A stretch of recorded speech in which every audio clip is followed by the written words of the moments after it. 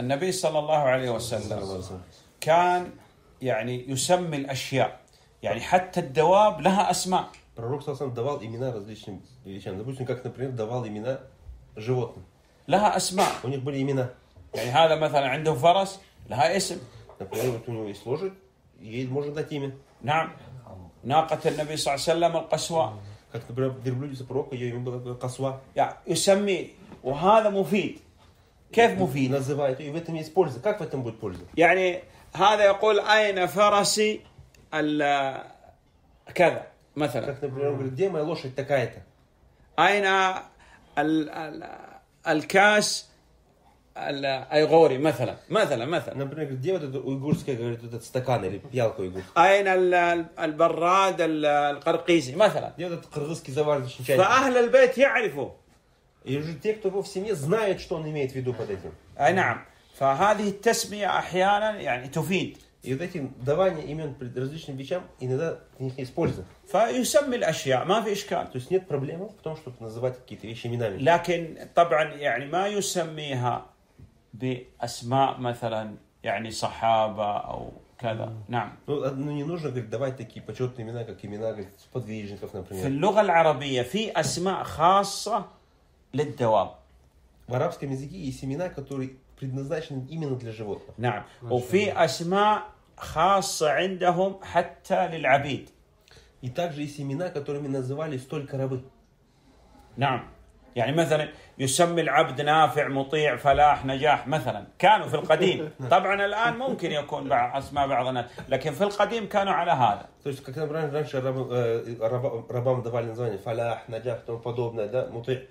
Но это, говорит, раньше так было. Сейчас, может, и не так, но раньше говорит, было у арабов так. ليش؟ Почему?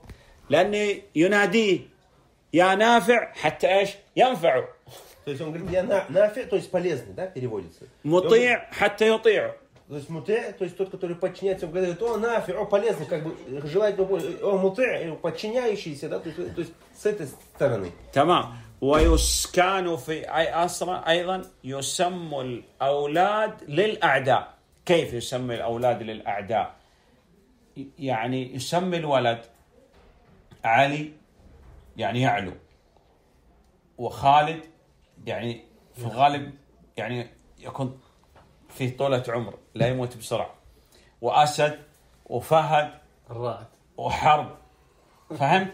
لماذا؟ للأعداء لأنه يسمع الأعداء أنه الجيش قادم من في الجيش؟ قال في الجيش يوجد خالد وهو أسد وعلي خلاص والمغيرة يقولوا خلاص هزمنا То есть также, говорит, раньше говорит, детям давали имена как бы для врагов, то есть против врагов. То есть что значит? То есть давали, например, имя Али, то есть тот возвышенный. Или же давали имя э, э, خالد как Халид, то есть Халид как долгоживущий, да, видите, то есть который быстро не умрет. И Да. тому подобные имена. حرب Или как Харб, как, как, Асад. как, как война, как Асад, лев. И когда, говорит, слышали, например, наступало войско, они говорили, кто вышел, кто там против нас вышел? Они говорили, Али, Халид, Асад, Харб. То есть все, говорит, мы проиграли. То есть все, такие говорит, вышли быть против нас. Непобедимые, да, грубо говоря? مفهوم؟